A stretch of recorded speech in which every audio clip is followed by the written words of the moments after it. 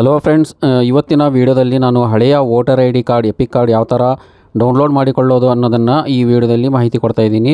ಸ್ನೇಹಿತರೆ, ಹಳೆಯ voter I ಡಿಯಲ್ಲಿ ಮೊಬೈಲ್ ನಂಬರ್ ಲಿಂಕ್ ಇಲ್ಲದರೂ ಕೂಡ ನಾವು ಇಮ್ಮಿಡಿಯೇಟಾಗಿ ಮೊಬೈಲ್ ನಂಬರ್ ಲಿಂಕ್ ಮಾಡಿ ಇಲ್ಲಿ ಹೊಸ smart card voter I D digital voter I ಡಿಯನ್ನು download ಮಾಡಿಕೊಳ್ಳಬಹುದು.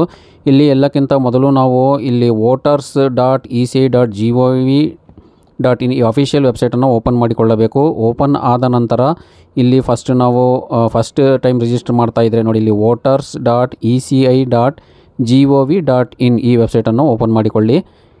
ಈ ವೆಬ್ಸೈಟನ್ನು ಓಪನ್ ಆದ ಬಳಿಕ ನೋಡಿ ಇಲ್ಲಿ ರೈಟ್ ಸೈಡಲ್ಲಿ ಲಾಗಿನ್ ಇದೆ ಮತ್ತು ಸೈನ್ ಅಪ್ ಇದೆ. ಆಲ್ರೆಡಿ ನೀವು ರಿಜಿಸ್ಟರ್ ಆಗಿದ್ದರೆ ಲಾಗಿನ್ ಮೇಲೆ ಕ್ಲಿಕ್ ಮಾಡಿ, ಲಾಗಿನ್ ಮಾಡಿಕೊಳ್ಳಿ. ಫಸ್ಟ್ ಟೈಮ್ ವಿಸಿಟ್ ಮಾಡ್ತಾ ಇದ್ರೆ ವೆಬ್ಸೈಟಿಗೆ ರಿಜಿಸ್ಟರ್ ಮೇಲೆ ಕ್ಲಿಕ್ ಮಾಡಿ ಸೈನ್ ಅಪ್ ಮೇಲೆ ಕ್ಲಿಕ್ ಮಾಡಿ, ಇಲ್ಲಿ ಮೊಬೈಲ್ ನಂಬರ್ ಹಾಕಿ ಕ್ಯಾಪ್ಚಾ ಹಾಕಿ, ಇಲ್ಲಿ ಕಂಟಿನ್ಯೂ ಮೇಲೆ ಕ್ಲಿಕ್ ಮಾಡಬೇಕು, ನಿಮ್ಮ ಹೆಸರು ಹಾಕಿ, ಇಲ್ಲಿ ಒ ಟಿ ಪಿ ಹಾಕಿ ರಿಜಿಸ್ಟ್ರೇಷನ್ ಮಾಡಿಕೊಳ್ಳಬೇಕು. ಸಿಂಪಲ್ ಪ್ರೊಸೀಜರ್ ಇರುತ್ತೆ ಸಿಂಪಲ್ ಸ್ಟೆಪ್ಪಲ್ಲಿ ಇಲ್ಲಿ ರಿಜಿಸ್ಟ್ರೇಷನ್ ಕಂಪ್ಲೀಟ್ ಆಗುತ್ತೆ. ರಿಜಿಸ್ಟ್ರೇಷನ್ ಆದ ಬಳಿಕ ಪುನಃ ನಾವು ಇಲ್ಲಿ ವೆಬ್ಸೈಟಲ್ಲಿ ಹೋಗಿ ಸೈನ್ ಇನ್ ಮಾಡಬೇಕು, ಅಂದರೆ ಲಾಗಿನ್ ಮಾಡಿಕೊಳ್ಳಬೇಕು. ಲಾಗಿನ್ ಆದ ನಂತರ ನಾವು ಇಲ್ಲಿ ನೋಡಿ, ಇಲ್ಲಿ ಈಗ ಲಾಗಿನ್ ಆಗಿದೆ. ಇಲ್ಲಿ ಹಲವಾರು ಆಪ್ಷನ್ಸ್ ಇದೆ ನಿಮಗೆ. ನೋಡಿ, ಇಲ್ಲಿ ಲಾಗಿನ್ ಮೇಲೆ ಕ್ಲಿಕ್ ಮಾಡಿ ನಿಮ್ಮ ರಿಜಿಸ್ಟರ್ ಮೊಬೈಲ್ ನಂಬರ್ ಹಾಕಿ, ಪಾಸ್ವರ್ಡ್ ಏನು ನೀವು ಕ್ರಿಯೇಟ್ ಮಾಡ್ಕೊಂಡಿರ್ತೀರ, ಆ ಪಾಸ್ವರ್ಡ್ ಹಾಕಿ ಕ್ಯಾಪ್ಚಾ ಹಾಕಿ, ರಿಕ್ವೆಸ್ಟ್ ಓ ಮೇಲೆ ಕ್ಲಿಕ್ ಮಾಡಿದರೆ ನಿಮ್ಮ ಮೊಬೈಲಿಗೆ ಒ ಟಿ ಬರುತ್ತೆ. ಒ ಹಾಕಿ ಲಾಗಿನ್ ಮಾಡಿಕೊಳ್ಳಿ. ಲಾಗಿನ್ ಆದ ನಂತರ ನೋಡಿ, ಈ ಥರ ಡ್ಯಾಶ್ಬೋರ್ಡ್ ಇಲ್ಲಿ ನಿಮಗೆ ಓಪನ್ ಆಗುತ್ತೆ. ಇಲ್ಲಿ ಹಲವಾರು ಆಪ್ಷನ್ಸ್ ಇದೆ. ಹೊಸ ವೋಟರ್ ಐ ಅಪ್ಲೈ ಮಾಡ್ಬೋದು, ಕರೆಕ್ಷನ್ ಮಾಡ್ಕೊಳ್ಬೋದು. ಇಲ್ಲಿ ಫಾರ್ಮ್ ಏಯ್ಟ್ ಅಂತ ಇದೆ ನೋಡಿ. ಫಿಲ್ ಫಾರ್ಮ್ ಏಯ್ಟ್ ಮೇಲೆ ಕ್ಲಿಕ್ ಮಾಡಿ ನಾವು ಮೊಬೈಲ್ ನಂಬರ್ ಅಪ್ಡೇಟ್ ಮಾಡಿ ಇಲ್ಲಿ ಎಪಿಕ್ ಕಾರ್ಡ್ ಡೌನ್ಲೋಡ್ ಅಂತ ಇದೆ ನೋಡಿ. ಲಾಗಿನ್ ಆದ ನಂತರ ಇಲ್ಲಿ ಎಪಿಕ್ ನಂಬರ್ ಇರುತ್ತೆ. ಎಪಿಕ್ ನಂಬರ್ ಹಾಕಿ ಸ್ಟೇಟನ್ನು ಸೆಲೆಕ್ಟ್ ಮಾಡಿ ಸರ್ಚ್ ಮೇಲೆ ನಾವು ಕ್ಲಿಕ್ ಮಾಡ್ಕೋಬೇಕು. ನೋಡಿ ಸರ್ಚ್ ಮೇಲೆ ನಾವು ಕ್ಲಿಕ್ ಮಾಡಿದರೆ ನಿಮಗೆ ನಿಮಗೊಂದು ಆಪ್ಷನ್ಸ್ ಬರುತ್ತೆ ನೋಡಿ ಇಲ್ಲಿ. ಒಂದು ಪಕ್ಷ ವೋಟರ್ ಐ ಡಿಯಲ್ಲಿ ಮೊಬೈಲ್ ನಂಬರ್ ಲಿಂಕ್ ಆಗಿಲ್ಲ ಅಂದರೆ ನೋಡಿ your mobile number is not registered in electoral roll ಅಂತ ಬಂದಿದೆ ನೋಡಿ ಇಲ್ಲಿ. Facility to update your mobile number is available in form eight ಇಲ್ಲಿ ಫಾರ್ಮ್ ಏಯ್ಟ್ನ ಕರೆಕ್ಷನ್ ಫಾರ್ಮ್ನ ಓಪನ್ ಮಾಡಿಕೊಂಡು ನಾವು ಮೊಬೈಲ್ ನಂಬರನ್ನು ಅಪ್ಡೇಟ್ ಮಾಡ್ಕೋಬೇಕು ನೋಡಿ. ಇಲ್ಲಿ ಎಪಿಕ್ ನಂಬರ್ನ ಇಲ್ಲಿ ಶೋ ಮಾಡ್ತಾ ಇದ್ದೀನಿ. Six zero one last number ಇದು. ಇಮ್ಮಿಡಿಯೇಟಾಗಿ ಇದು ಅಪ್ಡೇಟ್ ಆಗಿ ನಾವು ಡೌನ್ಲೋಡ್ ಮಾಡಿಕೊಳ್ಳಬಹುದು. ಹೌದು ಸ್ನೇಹಿತರೆ. ಮುಂಚೆ ಇದು ಕರೆಕ್ಷನ್ಗೆ ಟೈಮ್ ತೊಗೊಳ್ತಾ ಇತ್ತು. ಈಗ ನೋಡಿ ಈ ಫೆಸಿಲಿಟಿ ಅವೈಲೇಬಲ್ ಇದೆ.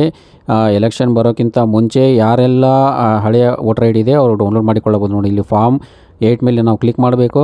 ನಿಮ್ಮದೇ ವೋಟರ್ ಐ ಡಿ ಇದ್ದರೆ ಇಲ್ಲಿ ಸೆಲ್ಫ್ ಮೇಲೆ ಕ್ಲಿಕ್ ಮಾಡಿ ಬೇರೆಯವ್ರದ್ದು ಏನಾರ ಲಾಗಿನ್ನಲ್ಲಿ, ನಿಮ್ಮ ಲಾಗಿನ್ನಲ್ಲಿ ಬೇರೆಯವ್ರದ್ದು ವೋಟರ್ ಐ ಡಿ ಏನಾರ ನೀವು ಕರೆಕ್ಷನ್ ಮಾಡ್ತಾ ಇದ್ದರೆ ಅದರ್ ಎಲೆಕ್ಟರ್ ಮೇಲೆ ಕ್ಲಿಕ್ ಮಾಡಿ, ಇಲ್ಲಿ ಎಪಿಕ್ ನಂಬರ್ ಹಾಕಿ ಸಬ್ಮಿಟ್ ಮೇಲೆ ಕ್ಲಿಕ್ ಮಾಡಿ. ನಿಮ್ಮದೇ ಇದ್ದರೆ ಸೆಲ್ಫ್ ಅಂತ ಸೆಲೆಕ್ಟ್ ಮಾಡಿ, ನಿಮ್ಮ ಫ್ಯಾಮಿಲಿಯಲ್ಲಿ ಬೇರೆಯವ್ರದ್ದಿದ್ರೆ ಅದರ್ ಅಂತ ಸೆಲೆಕ್ಟ್ ಮಾಡಿ. ನೋಡಿ ಅವರ, ಹೆಸರು, ಎಲ್ಲ ಪಾರ್ಟ್ ನಂಬರ್, ಸೀರಿಯಲ್ ನಂಬರ್ ಹೆಸರು ಎಲ್ಲ ಬಂದಿರುತ್ತೆ, ಈ ಥರ ಬರಬೇಕು. ಒಂದು ಪಕ್ಷ ಇದು ಶೋ ಆಗಲಿಲ್ಲ ಅಂದರೆ ಪುನಃ ಮತ್ತೊಮ್ಮೆ ನೀವು ಲಾಗಿನ್ ಮಾಡಿ ವೋಟರ್ ಐ ಹಾಕಿ ಇದು ಪ್ರೊಸೀಜರ್ನ ಫಾಲೋ ಮಾಡಬೇಕು. ಇಲ್ಲಿ ಓಕೆ ಮೇಲೆ ಕ್ಲಿಕ್ ಮಾಡಿ ನಂತರ ನೋಡಿ ಇಲ್ಲಿ application for shifting of residence ಇದೆ ಕಸ್ಟಮರ್ ಕರೆಕ್ಷನ್ ಇದೆ ನೋಡಿ ಇಲ್ಲಿ ಇಶ್ಯೂ ಆಫ್ ರಿಪ್ಲೇಸ್ಮೆಂಟ್ ಇದೆ, ಇಲ್ಲಿ ಹಲವಾರು ಆಪ್ಷನ್ಸ್ ಇದೆ, ಇಲ್ಲಿ ಎರಡನೇ ಆಪ್ಷನ್ಸ್ ಮೇಲೆ ನಾವು ಕ್ಲಿಕ್ ಮಾಡ್ಕೋಬೇಕು. Correction of entries in existing electoral roll ಮೇಲೆ ಕ್ಲಿಕ್ ಮಾಡಿ. ನಂತರ ಇಲ್ಲಿ ಡೀಟೇಲ್ಸ್ ಎಲ್ಲ ಶೋ ಆಗುತ್ತೆ, ಯಾರ ಹೆಸರಲ್ಲಿದೆ ವೋಟರ್ ಐ ಡಿ ಎಲ್ಲ ಬಂದಿರುತ್ತೆ. ಇಲ್ಲಿ ಆಧಾರ್ ನಂಬರ್ ಮೇಲೆ ಚೆಕ್ ಬಾಕ್ಸ್ ಮೇಲೆ ಟಿಕ್ ಮಾಡಿ ಆಧಾರ್ ನಂಬರ್ ಹಾಕಿ ಮೊಬೈಲ್ ನಂಬರ್ ನಿಮ್ಮದೇ ಇದ್ದರೆ ಸೆಲ್ಫ್ ಮೇಲೆ ಕ್ಲಿಕ್ ಮಾಡಬೇಕು, ಒಂದು ಪಕ್ಷ ಫ್ಯಾಮಿಲಿಯಲ್ಲಿ ಬೇರೆಯವ್ರ ನಂಬರ್ ಇದ್ದರೆ ಅದೇ ಸೇಮ್ ಮೊಬೈಲ್ ನಂಬರ್ ಬೇರೆಯವ್ರಿಗೆ ಏನಾರ ಕೊಟ್ಟಿದ್ರೆ, ಇಲ್ಲಿ ಎನಿ ಅದರ್ ರಿಲೇಟಿವ್ ಮೇಲೆ ಚೆಕ್ ಬಾಕ್ಸ್ ಮೇಲೆ ಟಿಕ್ ಮಾಡಿ ಅವರ ಫೋನ್ ನಂಬರ್ ಹಾಕಿ. ನಿಮ್ಮದೇ ಇದ್ದರೆ ಸೆಲ್ಫ್ ಅಂತ ಸೆಲೆಕ್ಟ್ ಮಾಡಿ, ಒಂದು ಫ್ಯಾಮಿಲಿಯಲ್ಲಿ ಒಂದೇ ನಂಬರ್ ಬೇರೆಯವರಿಗಿದ್ರೆ ಅದರ್ ಅಂತ ಸೆಲೆಕ್ಟ್ ಮಾಡಿ ಅದರ್ ರಿಲೇಟಿವ್ ಅಂತ ಸೆಲೆಕ್ಟ್ ಮಾಡಿ ಮೊಬೈಲ್ ನಂಬರ್ ಹಾಕಿ, ನಂತರ ನೆಕ್ಸ್ಟ್ ಮೇಲೆ ಕ್ಲಿಕ್ ಮಾಡಿ.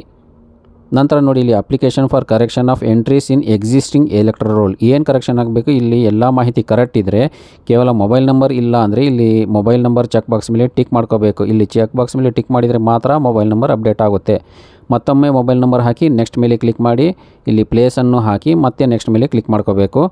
ನಂತರ ಇಲ್ಲಿ ಕ್ಯಾಪ್ಚಾ ಹಾಕಬೇಕು. ಕ್ಯಾಪ್ಚಾ ಹಾಕಿದ ನಂತರ ಮೊಬೈಲಿಗೆ ಒ ಸೆಂಡ್ ಓ ಅಂತ ಬರುತ್ತೆ. ಆ ಒ ಟಿ ಪಿ ಸೆಂಡ್ ಮಾಡಿಕೊಂಡು ನಾವು ಇಲ್ಲಿ ಸಬ್ಮಿಟ್ ಮಾಡಬೇಕು. ಪ್ರಿವ್ಯೂ ಆ್ಯಂಡ್ ಸಬ್ಮಿಟ್ ಮೇಲೆ ಕ್ಲಿಕ್ ಮಾಡಿ ಫೈನಲ್ ಆಗಿ ನಾವು ಸಬ್ಮಿಟ್ ಮಾಡಬೇಕು. ಎಲ್ಲ ಕರೆಕ್ಷನ್ ಅಂದರೆ ವೋಟರ್ ಐಡಿಯಲ್ಲಿ ಎಲ್ಲ ಡೀಟೇಲ್ಸ್ ಕರೆಕ್ಟ್ ಇದ್ದರೆ ಮೊಬೈಲ್ ನಂಬರ್ ಮಾತ್ರ ಅಪ್ಡೇಟ್ ಮಾಡಿ ಇಲ್ಲಿ ಈ ಎಪಿಕ್ ಕಾರ್ಡ್ ಡೌನ್ಲೋಡ್ ಅಂತ ಇದೆ ನೋಡಿ. ಇದ್ರ ಮೇಲೆ ಕ್ಲಿಕ್ ಮಾಡಿ ಇಮ್ಮಿಡಿಯೇಟಾಗಿ ನೀವು ಅಪ್ಡೇಟ್ ಸಬ್ಮಿಟ್ ಮಾಡಿದ ನಂತರ ನೋಡಿ ಇಲ್ಲಿ ಮೊಬೈಲ್ ನಂಬರ್ ಇಲ್ಲಿ ಸೆಂಡ್ ಒ ಅಂತ ಆಪ್ಷನ್ ನಿಮಗೆ ಬರುತ್ತೆ. ಈ ರೀತಿಯಾಗಿ ನೀವು ಇಮ್ಮಿಡಿಯೇಟಾಗಿ ಮೊಬೈಲ್ ನಂಬರ್ ಅಪ್ಡೇಟ್ ಮಾಡಿ, ಹಳೆಯ ವೋಟರ್ ಐ ಒಂದು ಪಕ್ಷ ವೋಟರ್ ಐ ಡಿ ಕಳೆದು ಹೋಗಿದ್ರು ಕೂಡ ವೋಟರ್ ಐ ಡಿ ಎಪಿಕ್ ನಂಬರಿಂದ ನಾವು ನೋಡಿ ಈ ಥರ ಎಪಿಕ್ ಕಾರ್ಡನ್ನು ಸ್ಮಾರ್ಟ್ ಕಾರ್ಡನ್ನು ಡಿಜಿಟಲ್ ಕಾರ್ಡನ್ನು ಡೌನ್ಲೋಡ್ ಮಾಡಿಕೊಳ್ಳಬಹುದು. ಸ್ನೇಹಿತರೆ, ಈ ವಿಡಿಯೋ ನಿಮಗೆ ಇಷ್ಟ ಆಗಿದರೆ ಇದನ್ನು ಲೈಕ್ ಮಾಡಿ ಶೇರ್ ಮಾಡಿ ಮತ್ತು ಆನ್ಲೈನ್ ಹೆಲ್ಪಿನ್ ಕಾರ್ಡ ಚಾನಲನ್ನು ಸಬ್ಸ್ಕ್ರೈಬ್ ಮಾಡಿಕೊಳ್ಳಿ. ಧನ್ಯವಾದಗಳು.